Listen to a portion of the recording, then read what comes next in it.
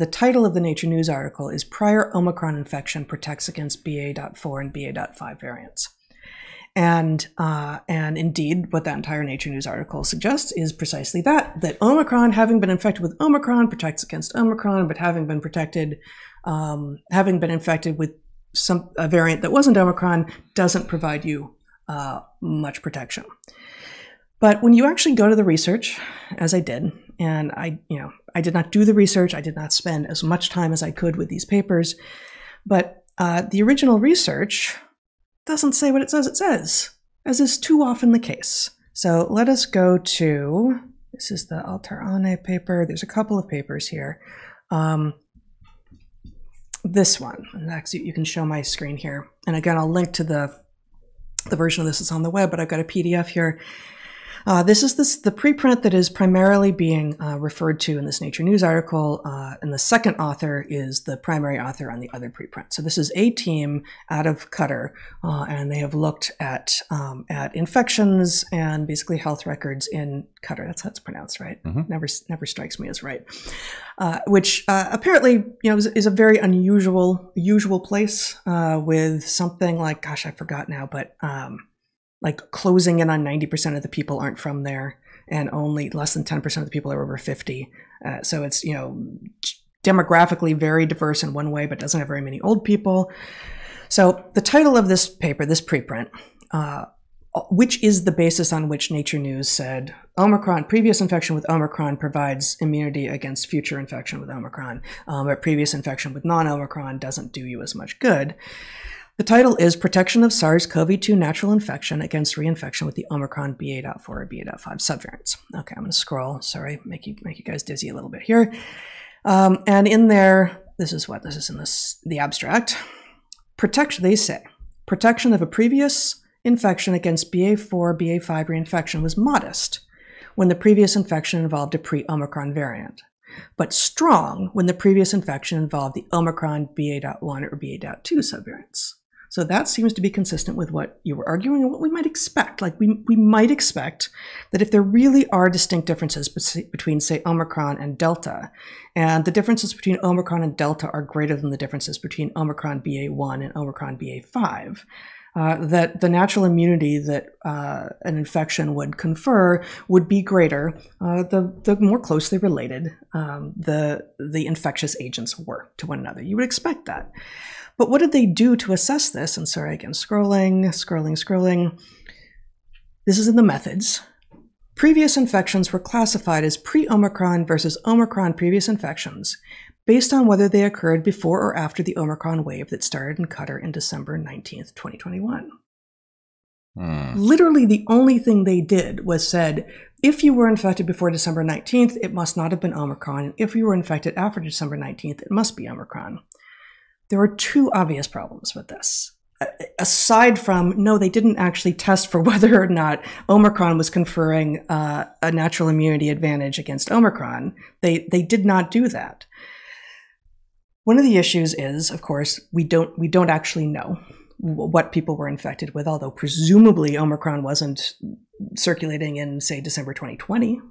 Presumably, but do we really know that? Um, more to the point, though, what we actually have here is a timestamp. I mean, quite literally, this is a timestamp. And so what they have found is the totally obvious, but apparently from, you know, if you were listening to the WHO and the CDC for the last couple years, maybe they didn't quite track this thing that we know from every other immune response ever, which is that the more recently you've been exposed to the pathogen, the more likely you are to maintain natural immunity to that pathogen, right?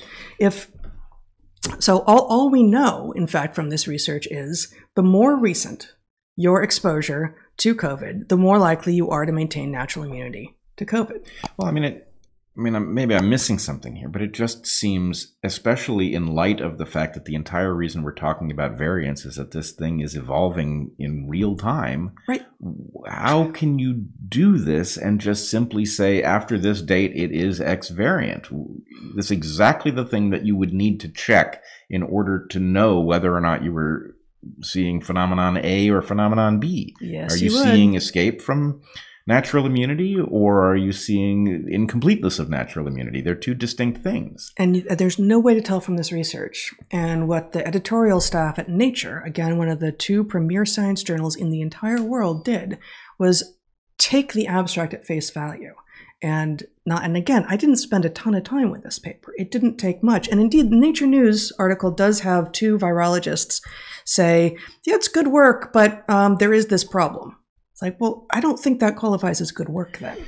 So one one more thing. Yeah. Oh no, go on. Well, yeah. I just want to point out there's something. I mean, I think the most important thing here is the way nature is dealing with the world of preprints. Nature, the magazine, not yes. Nature, the no, no, not Nature, the phenomenon. yes. Nature. Well, I guess Nature, the magazine, is a phenomenon, but yeah. um, but nonetheless, the we are told that what makes it science is peer review, which is, of course, total garbage, right? What makes it science is the frickin' method, right? Mm-hmm. That's what makes it science. Peers, to the extent that they can do something, they can evaluate whether or not the method was done correctly and whether or not the things that you believe follow from your evidence actually do follow from it. Mm-hmm. That is not inherent to peer review. Review by peers does it also. But there's something yes. fascinating about this.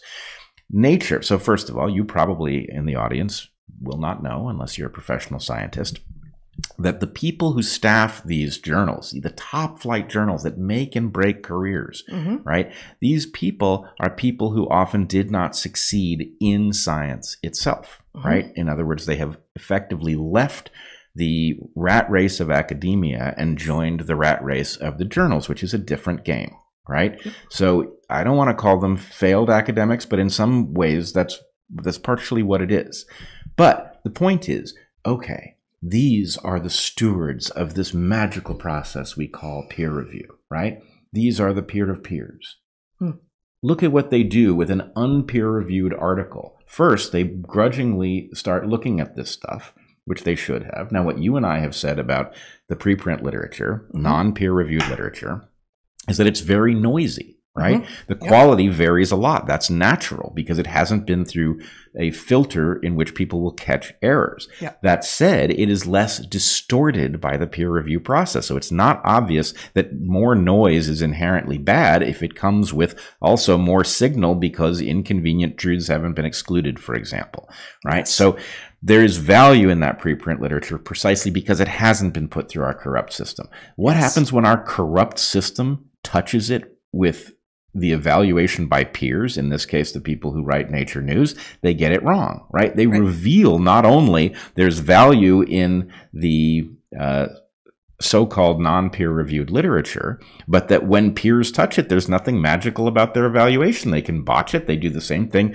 scientists do when they're in a rush, which is they, you know, assume that what is reported in the title in the abstract is actually what is uh, suggested by the paper. Mm-hmm. So anyway, the the whole thing is kind of revealing itself. It is, and um, it's uh, it's it's a pity you have to know where the bodies are buried in order to see what's being acknowledged and what's being botched um, because yes. really everybody needs yeah. to be uh, exposed to the evidence that peer review is not a magical process. It's a corrupt process and it's a flawed process. Even it, even when it works, it's a deeply flawed process, and it is so corrupt as to be counterproductive in many contexts.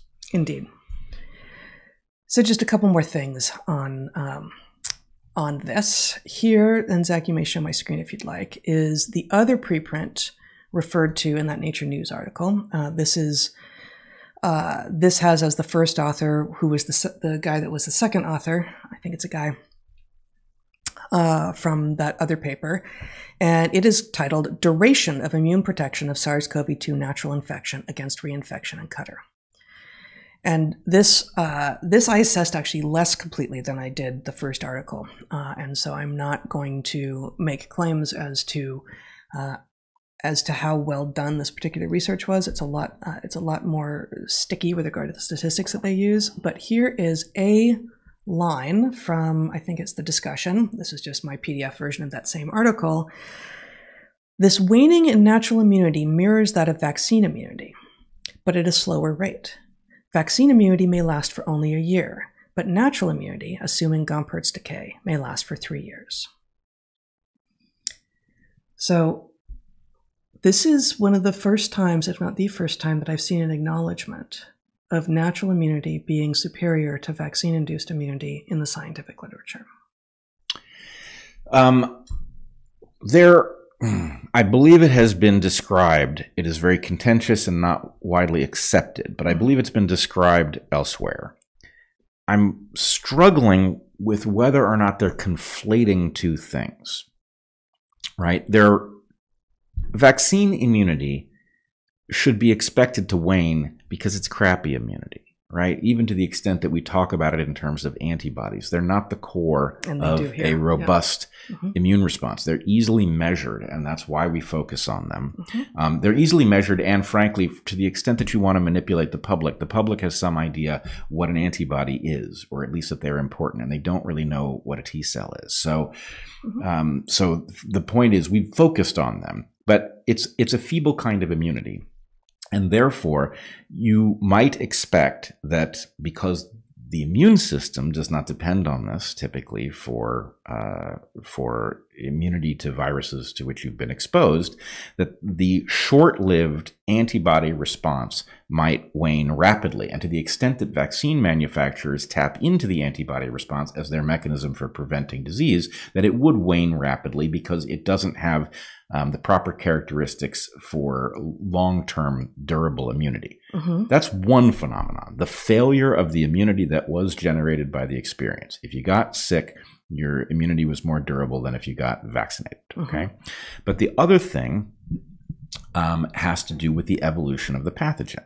Right. Right. And so the, the, you Which, know, you know, th- this team was tr- looked like they were trying to sort that out in the first paper I was talking about. But then when you look at their methods, you find that they actually just used a, a date, you know, a moment right. in time before and after which was their proxy for variants, which is which is not acceptable. It's not evidence. Yes. Yes, it is assumption. Yeah. Is the problem? It, it's mm-hmm. it is a, it is an assumption masquerading as evidence. Right. And that's a no no. Mm-hmm. That's a big one. Yeah. Um, but so I don't know. I don't know what to do with the fact that you've got these two. You know, to say that the immunity wanes may even be technically true, but is it? You know, you could get that if you had perfectly static levels of antibody immunity and the pathogen evolved away so that they were less and less well tuned. That would cause the observed phenomenon of less and less uh, effectiveness. So, is part of what you're going after here is you know what what does immunity wanes mean? You have um, antibody versus T cell, but let's put that aside for the moment. For, uh, uh for the moment, you also have has your immunity to the thing you were exposed to waned, or has the thing you were exposed to become so such a minority representative in the population of this broad lineage of viruses such that while that original immunity that you got from an older lineage uh, may still help a little bit with anything you would be exposed to in modern times um, it's not that your immune system um, forgot what it knew. It's that it is now being exposed to something that didn't exist before. Not only that, and this I think is where the rubber meets the road okay. for a lot of this. There is a question that haunts our entire COVID response. Would we be better off if we had done nothing? Right?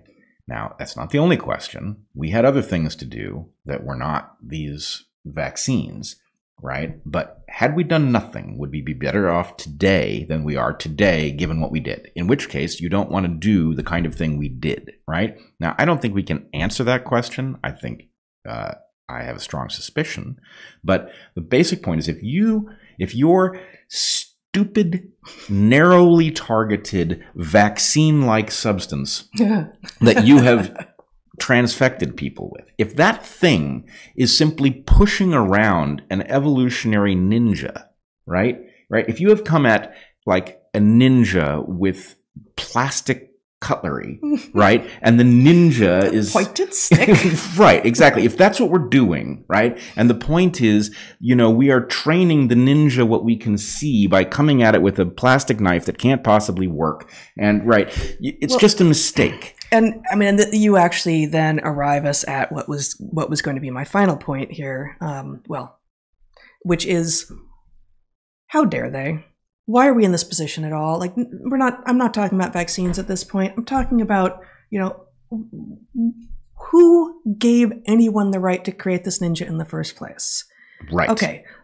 What if we had done nothing in March 2020 when this thing had emerged? How about what if we had done nothing in March 2010 I'm making that number up. I have no idea. When gain of function research was in its early nascent stages, and some people thought it was really great and were putting together lots of justifications because that's what you need to do. And then they started to buy their own press and they started to create these things which have escaped from their damn bottles. And there's no putting this genie back in. No, there's they, just there, there's there's the the bottle is gone. The genie is out here. We're all stuck with it, and now they're just adding, you know, injury to injury. Yeah, injury to injury is right. Yeah, there's to the extent that it has become quite clear that this came from the lab, and even in the tiny remaining chance that it did not, that it certainly could have, right? If if this didn't, if this came from the wet market, the fact that there was a laboratory, whatever it is, 14 kilometers away, uh, turbocharging exactly the sort of virus without the ability to prevent a leak means. Is it going to be the ferret badger popsicles again? Or? yeah, ferret badger popsicles uh, again is is right, but to the extent that we did everything necessary to create this insane condition, and probably did create this insane condition, right? This should be uh, a an absolute focus, and yet we so many of us are aware, but the usual process by which the public becoming aware that something terrible and needless has befallen it, right, would usually trigger a response that we just don't see.